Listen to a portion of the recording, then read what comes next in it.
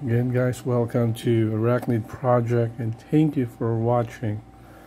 And this time as I was walking down our backyard, I saw a different uh, different species of insect. I'm not sure what this one is, but I'm pretty much sure that it looks like a borrower.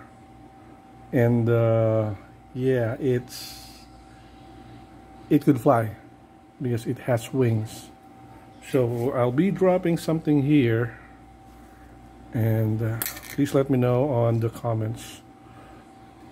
Okay, it's this one.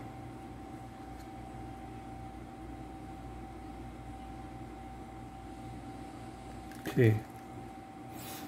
Not sure if I will be trying this to feed on my one of my bigger tarantulas but I want to make sure that this one is uh, safe for feeding the tarantula and uh, want to also make sure what type of insect is this.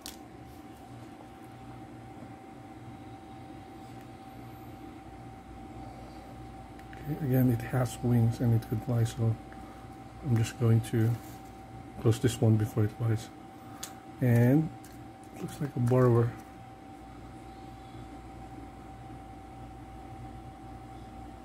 okay thank you guys.